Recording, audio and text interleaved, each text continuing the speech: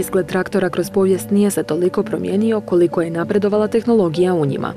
Najnoviji strojevi danas moraju zadovoljiti potrebe poput udobnosti, ekonomičnosti i produktivnosti. Baš kao i automobilima, GPS sustav u traktorima je neizbježan jer osigurava precizan rad te velike uštede. Kako bi iskoristili sve mogućnosti strojeva i mehanizacije, ali i izbjegli nestručno rukovanje koje može dovesti do oštećenja, za poljoprivrednike je bitna educiranost.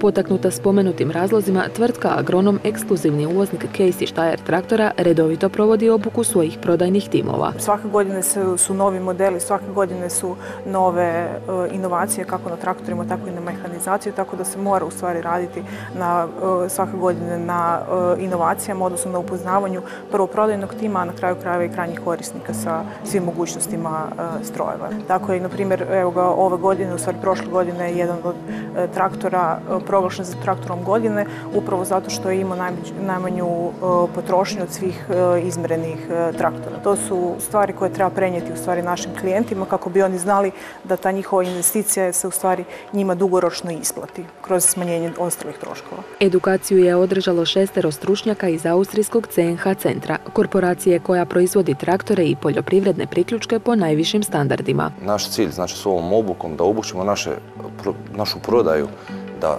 uputi poljoprivrednike kako najefikasnije da iskoriste sve mogućnosti strojeva koji su kupili. Tijekom praktičnog dijela prezentirana je komunikacija prema klijentima, balansiranje traktora, snimanje operacija poput podizanja, okretanja i sužavanja pluga i drugo. Još uvijek u Hrvatskoj prosječna starost traktora je 33 godine i cilj je i u vrlo skoroj budućnosti će svi seljaci, svi poljoprivrednici će se ići kupnju nove mehanizacije, bilo kroz fondove, bilo kroz zbog same potrebe za korištenje novih strojeva.